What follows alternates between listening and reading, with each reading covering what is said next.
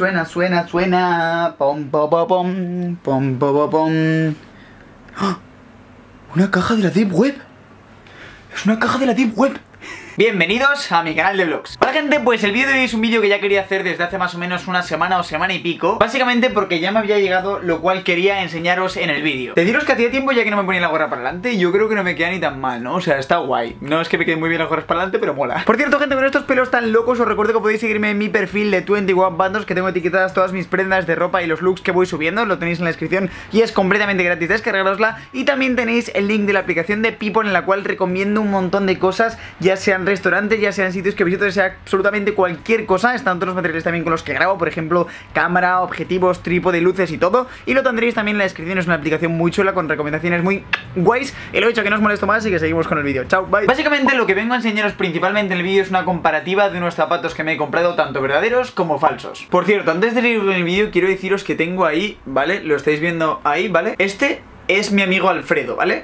Mi amigo Alfredo me tiene que estar dando aire constantemente, está en modo silencioso, pero es que si no me da aire constantemente, probablemente yo, su amigo Iván, que es eso, yo Iván, eh, la palme, ¿vale? Porque hace un calor que flipas, entonces tengo que tener a Alfredo dándome un poco de airecillo. Y todavía no me llevo muy bien con el trípode, entonces estoy aquí intentando ponerlo lo más recto posible, pero es que yo lo veo súper torcido, tío. Bueno, en fin, que, que, antes de empezar con esto, ¿vale? Que os lo quiero enseñar ahora mismo, quería enseñaros también otra cosa, perdonadme que os lo enseñe porque es que no me aguanto, y es que mirad lo que me compré en Alemania o sea, mola un montonazo, ¿vale? Es la Snitch dorada de Harry Potter Deciros que es una lámpara que si la enchufas tiene USB si la enchufas pues tiene luz Supuestamente tiene luz tocándola, yo la toco y no se enciende Pero, pero, pero si la enchufo tiene luz, o sea, y mirar cómo mola Es un... Ay, tenía un nombre, ¿cómo se llama? Eh... Fanal, es un fanal, ¿vale? De plástico, obviamente, no es de cristal Pero con la Snitch dorada de Harry Potter mola un montonazo, tío Bueno, y dicho ya eso, ahora sí que sí, ya no os quito más tiempo, ¿vale? Deciros que para el vídeo de hoy, como os he dicho, tenía que esperar que me llegasen varios pedidos porque he hecho dos pedidos, pero antes de nada quiero decir también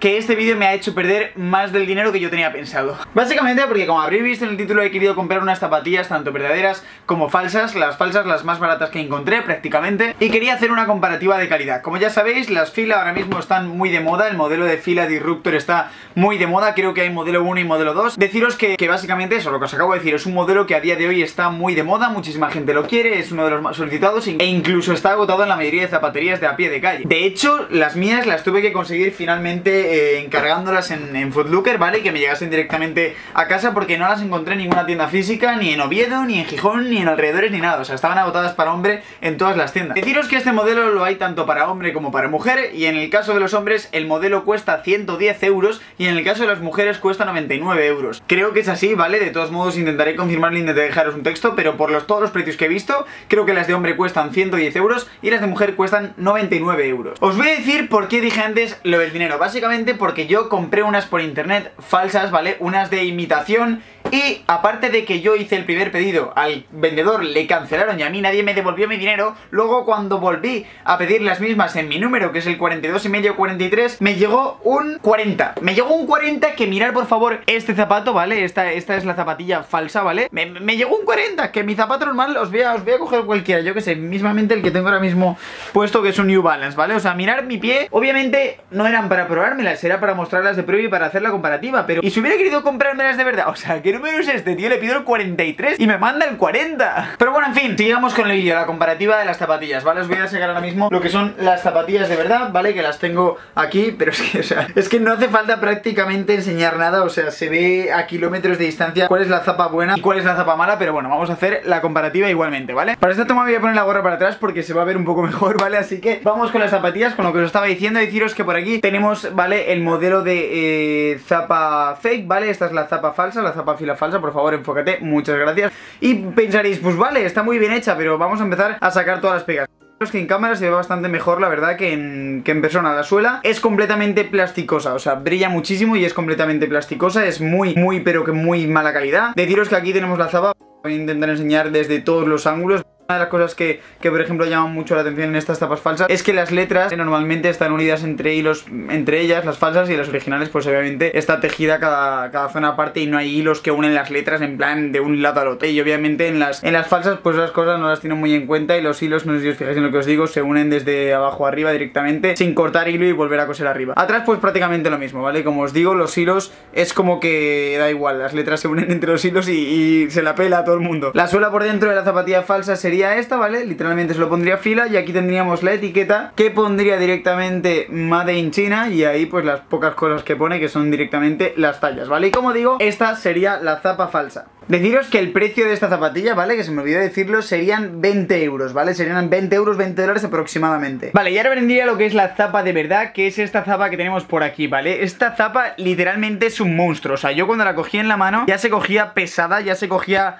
compacto, cogía dura la suela, obviamente es mate, es de goma, es muy dura, la otra goma era completamente brillante y muy plasticosa, deciros que este zapato pesa de por sí, ¿vale? La suela por dentro también es diferente, ¿vale? Directamente pone el logo de fila y pone de fila, como os digo, los diseños y las letras están súper bien cosidas, cada letra individual, ¿vale? Vamos a esperar a que se enfoque, ahí se enfoca. Por detrás exactamente lo mismo, cada letra está individualmente cosida y los detalles obviamente son muchísimo, muchísimo mejores. También tenemos el loguito este de aquí, que me acabo de fijar que en las falsas tampoco lo tiene, ¿vale? O sea, son como varias diferencias que tiene la zapa por dentro y la etiqueta supongo que también es una de las cosas más importantes para poder identificar zapas verdaderas o zapas falsas y la etiqueta como veis pues no tiene nada que ver, de hecho también tiene otra ahí dentro que no me había fijado con el loguito también de fila, pero bueno voy a poneros básicamente una zapa una zapata, ¿sabes? Una zapata. Lo que decía que voy a ponernos una zapatilla al lado de la otra, ¿vale? Esta es la zapatilla original y esta es la zapatilla falsa, ¿vale? Aquí ahora mismo tenéis las dos en pantalla la suela obviamente es una de las cosas que más se nota, yo creo, la suela de abajo es mucho más agresiva y la suela de arriba es mucho más, pues lisa, mucho más caca, ¿vale? Las suelas, como veis, son completamente diferentes, o sea, en las suelas se nota muchísimo, ¿vale? La zapa de arriba, como os digo, es la zapa de imitación y la zapa de abajo es la, la zapatilla buena, ¿vale? Las dos ponen como fila en la suela, pero es lo que os digo, o sea, las suelas no tienen nada que ver tanto el color de la goma como todo, estas serían las tapas de delante, esta es la original y esta es la falsa, como veis, no tiene la etiquetita esta que tiene esta en la punta, esta también tiene la lengüeta, ¿vale? Pero la lengüeta esta es como mucho más pocha, es lo que os digo, en general la zapatilla se nota un montón, ¿vale? Obviamente es lo que os digo, o sea, esta zapatilla vale 110 euros y esta zapatilla vale 20 euros, entonces obviamente se tiene que notar. Por cierto, obviamente antes de que nadie me diga nada, yo este vídeo para nada lo hago para reírme de gente que tenga cualquier tipo de imitación o cualquier cosa, solo lo hago como explicativo, son unas tapas que como digo, se pusieron un montón de moda, vi muchas tapas falsas de este tipo y dije, pues mira, me voy a comprar las verdaderas y me voy a comprar las falsas y ya que puedo, pues hago un vídeo y hago la comparación de zapatilla verdadera versus zapatilla falsa, pero en ningún momento lo hago para reírme de nadie que tenga las zapatillas falsas. Deciros que también haría lo de probármelas en el pie y deciros cuál es más cómoda, pero es que el maldito chino me envió tres tallas menos de la mía, o sea, es que me estafó. Ahora básicamente voy a hacer algún plano más detallado de lo que son las zapatillas. Como os estaba diciendo antes, esta es la zapatilla original, ¿vale? Esta es la zapatilla buena, la de 110 euros, como veis tiene el loguito aquí de la puntera, tiene ahí lo que os digo, lo de las letras. Fijaros porque es un detalle que la verdad es bastante importante, las buenas como os digo están completamente separadas, los hilos no están juntados entre las letras y los detalles pues obviamente en la zapatilla buena son increíbles, ¿vale? Y la calidad es muy buena y la zapatilla pesa un montón. Por el control de la zapatilla falsa, como os decía antes, no pesa absolutamente nada, o sea, literalmente se me va de la mano, las letras están cosidas entre sí, aquí se puede apreciar muchísimo mejor lo que os decía antes, todas las letras están cosidas entre sí, no tienen el loguito aquí, la suela, como os digo, es mucho más plasticosa, brilla muchísimo más, ahí se notan los brillos de la suela y lo que os digo de las letras entre ellas están cosidas y es un detalle que la verdad queda bastante feo en lo que es la zapatilla en sí, como os digo también por dentro son diferentes, pero bueno, que esta básicamente es la comparativa de las zapatillas, o sea, mirar monstruo, mirar qué monstruo es eso y mirar esto lo pequeñita que parece al lado de él, ¿sabes? O sea, es que lo que más se nota yo creo que es en las suelas, en verdad. Y lo dicho, que espero que os haya gustado un montonazo este vídeo. Que ya sé que es un contenido al que a lo mejor no estáis muy acostumbrados que traiga porque casi nunca he traído un contenido comparando, por así decirlo, ropa, pero bueno, tenía bastantes ganas de hacerlo y pues lo he hecho básicamente. Lo dicho, espero que os haya gustado. Aquí tenéis lo que son las tapas, esta es la caja también de las buenas y esto es, esto es una caja de la Deep Web. y lo dicho, que, que básicamente eso. Espero que os haya gustado un montón el vídeo, la comparativa y todo eso. Que si queréis ver más vídeos de este estilo, os ha molado el rollo, pues simplemente ponedmelo por los comentarios y yo intentaré traeros más vídeos también de este estilo. Y lo dicho, que tenéis por aquí mi Instagram, tenéis por debajo mis redes sociales y nos vemos en el próximo vídeo. Os quiero un montón y adiós. Chao, bye. Chao.